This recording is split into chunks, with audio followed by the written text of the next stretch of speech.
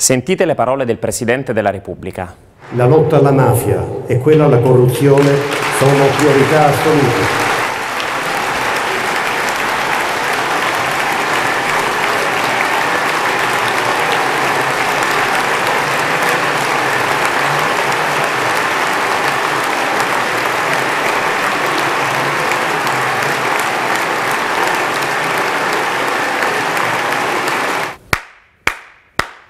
Tutti ad applaudire.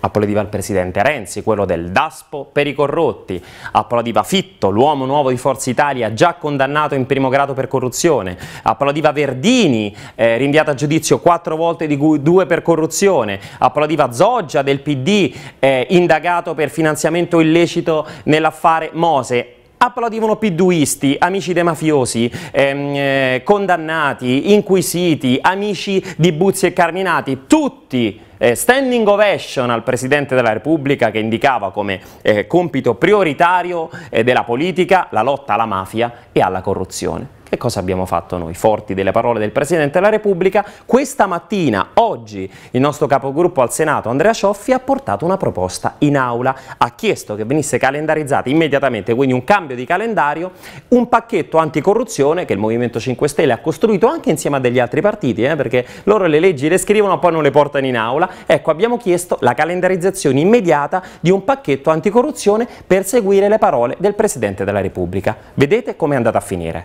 Favorevole alla proposta di variazione, senatore Cioffi, inserimento del disegno di legge anticorruzione. Chi è favorevole? Si apre la votazione. Chiusa la votazione, il Senato non approva. Siamo alle solite, parole e fatti, in questo caso applausi e fatti non coincidono mai. Questa gentaglia, purtroppo, gli amici ahimè di camorristi, piduisti, eh, amici de, di, di Mafia Capitali, di Buzzi e Carminati, hanno applaudito in maniera ipocrita, oscena le parole del capo dello Stato e avete visto come hanno votato, ma è sempre così, cioè o apriamo gli occhi tutti quanti oppure cioè, continueremo poi, non lo so, a stupirci che la mafia è arrivata a Roma, che l'andrangheta gestisce gli appalti in Emilia Romagna, nella rossa Emilia Romagna.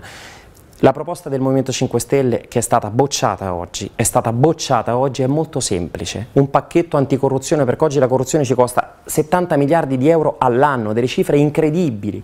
Semplice, ricreare il, il, reato di falso in bilancio perché è grazie al falso in bilancio, alla depenalizzazione del falso in bilancio che grandissimi imprenditori, eh, gruppi di potere riescono a costruire dei fondi neri attraverso i quali corrompere i politici e poi gli garantiscono degli appalti gonfiati perché tanto paghiamo noi cittadini. La seconda, lo stop alla prescrizione. Nel momento in cui una persona viene rinviata a giudizio deve essere stoppata la prescrizione, perché la prescrizione è un escamotage attraverso il quale si è salvato Andreotti persino eh, prescritto per mafia e Berlusconi 5 o 6 volte e forse Berlusconi si potrà salvare grazie alla prescrizione, per questo Renzi sta zitto, anche nel suo processo oggi in atto, un processo di compra, vendita di senatori. È poi semplice, alzare in maniera enorme, enorme le pene per eh, i reati di corruzione e concussione. Questo siamo noi, vi chiediamo una mano. Io eh, questo fine settimana sarò in Emilia, a Reggio, Reggio Emilia e Modena, sabato e domenica, a Bologna anche domenica perché anche il popolo emiliano si deve un pochino, deve un po' alzare la testa, ricordarsi di tutte le battaglie che ha fatto e, e riflettere sul fatto che oggi crimine organizzato e istituzioni, enti locali sono quasi, purtroppo, sono quasi sempre più la stessa identica cosa. Ci vediamo sabato e domenica in Emilia Romagna e cerchiamo di diffondere video del genere perché attraverso questi video proprio si smascherano eh, le ipocrisie e le oscenità di questo sistema di potere.